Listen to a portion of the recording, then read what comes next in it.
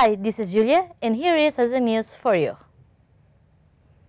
A group of volunteers from Malaysia collected food to combat Ramadan food waste.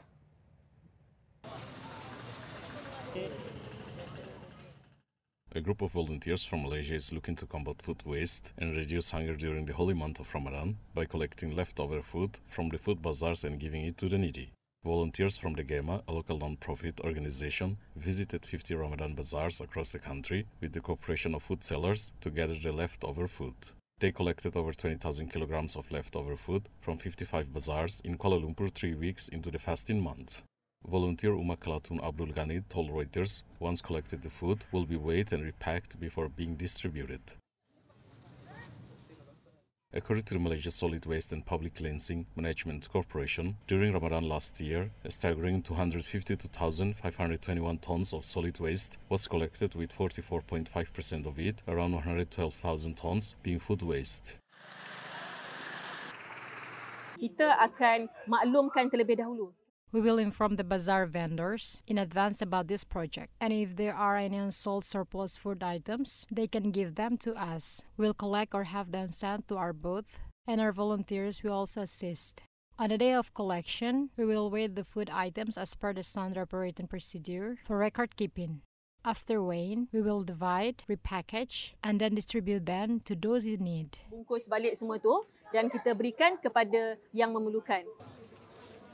The Solid Waste and Public Cleansing Management Corporation estimates that this year, if no action is taken, there could be an additional 75,000 tons of food waste generated in Malaysia during Ramadan.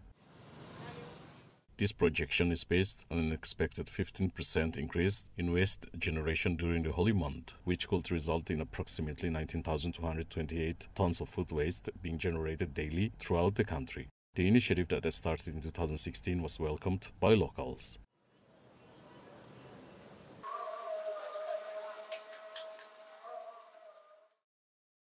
Indonesian military looking for missing soldiers in Papua after exchange with rebels. Indonesia's military chief said four soldiers were missing following an exchange of fire with separatist rebels in the restive region of Papua as they attempted to rescue an abducted New Zealand pilot.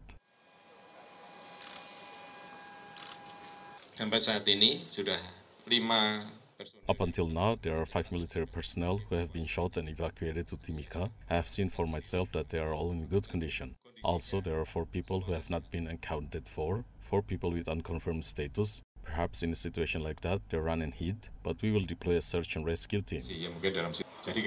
In the future, with such ceasefire operations in high risk areas, we will increase our operations from the usual protocol if there are civilians. If there aren't any civilians and we know that the area is the hideout of a rebel group, we will execute the combat alert.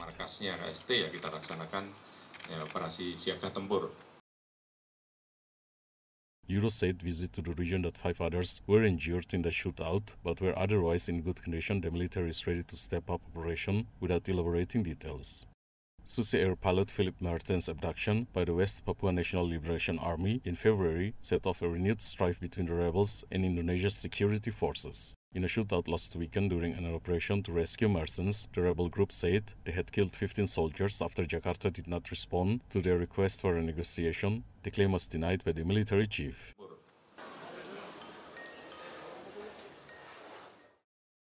Hundreds of Muslims gathered at a port in northern Jakarta to celebrate Eid prayers.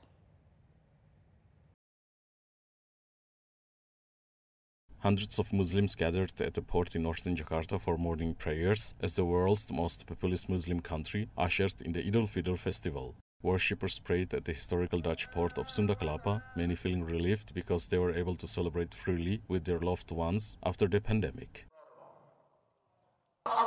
Cuman kalau untuk lebaran Regarding Eid prayers, I'm very happy we're free of COVID restriction now. It's both happy and somber for me. ini ada terharunya.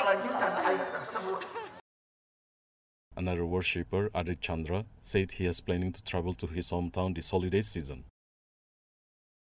Mudah-mudahan harapannya bisa I hope it gets better from here on and that we can gather together with our families after the last three years of not being able to go back to our hometown. We're planning on going after Eid.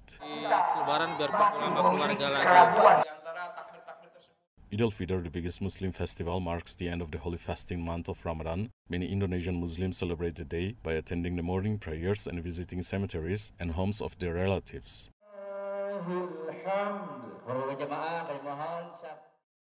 Thailand's heat index over 54 degrees Celsius.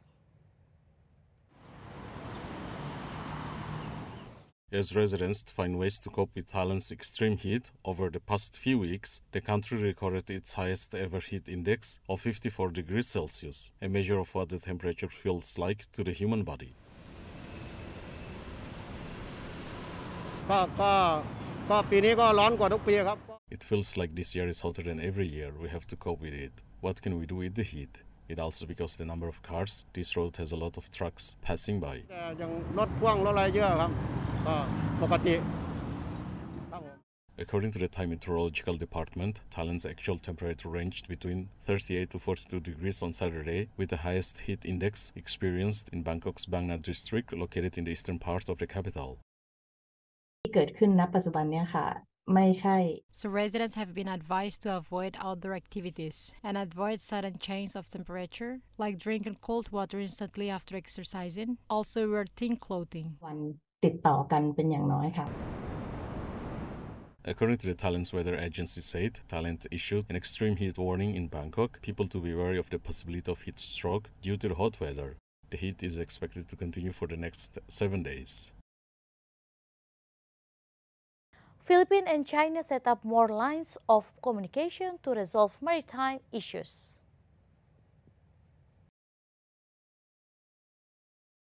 Philippines President Ferdinand Marcos Jr. met Chinese Foreign Minister Qin Gang with Manila and Beijing pledging to work together to resolve their maritime differences in the South China Sea. Talks between the country's key officials in Manila mark the latest in a series of high-level meetings of the Philippines with leaders of the United States and China as the two superpower battle for strategic advantage in the Indo-Pacific.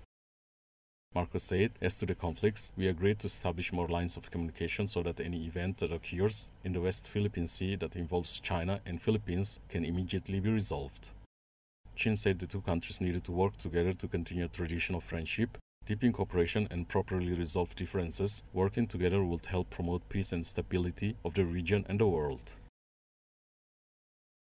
People in Indonesia gathered in Papua province to observe a rare hybrid solar eclipse.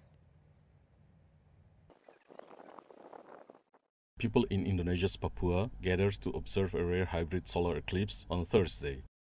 The total eclipse was only visible in East Indonesia, a few parts of Australia and Timor-Leste. A partial eclipse was visible across all the countries and parts of the Southeast Asia. Eh, kalau istimewanya mungkin tidak setiap This is very special because this eclipse doesn't occur every day. It only occurs in the month or at certain times, so we want to see that event. kita mau ingin melihat jadi kita In Jayapura, the capital of Papua province, where moon crossed the sun at 20 past 12 local time, 3.20 GMT, plunging viewers into darkness and dropping the temperature. Thursday's eclipse was a rare hybrid type not seen worldwide since 2013. In a hybrid eclipse, depending on where viewers stand and the moon either blots out the sun, a total eclipse or obscures the center while leaving a ring of light visible, an annular eclipse. Local enthusiasts from around Indonesia came to Jayapura to witness the rare moment of hybrid solar eclipse. In Jakarta, the light dimmed and the sun took on the appearance of a crescent, according to photos shared on social media. Thank you so much everyone. Have a lovely day. Stay safe and stay healthy.